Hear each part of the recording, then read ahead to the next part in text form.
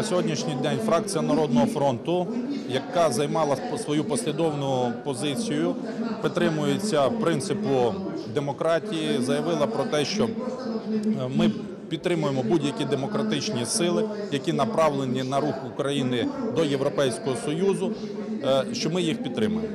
Вже два місяці ми чуємо про те, що е, є альтернатива діючому уряду, те, що ми пропонували.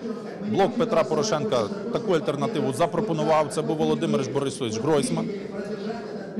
То він погоджується бути прем'єр-міністром, то не погоджується, потім знову погоджується, потім знову не погоджується. Для нас це не зрозуміло.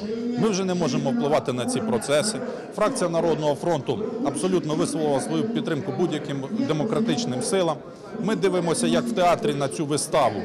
Незрозуміло яких актерів. Вся країна вже- вже розуміє про те, що проблема не в Народному фронті і не в прем'єру Яценюкові, а саме проблеми, які знаходяться в самій фракції блоку Петра Порошенка. Вони не можуть між собою домовитися, хто з них буде прем'єром.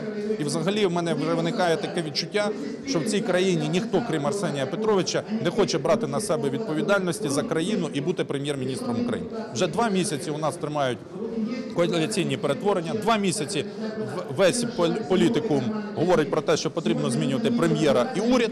Як тільки ми сказали, добре, якщо у вас альтернатива, ми на це погоджуємося, ніхто не хоче цього робити.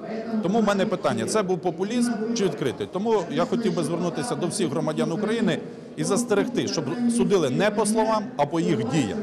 І коли звинувачують нас про те, що ми чомусь не йдемо у відставку, тому що немає майбутнього, це вже всім стало зрозуміло, що це є повна нісенітниця. На сьогоднішній день ми втримуємо країну, ми голосуємо за демократичні закони і чекаємо від наших партнерів, щоб вони на кінець визначилися зі своїми кандидатурами, щоб ми не зупинили країну, а почали, а почали продовжили її рухати вперед.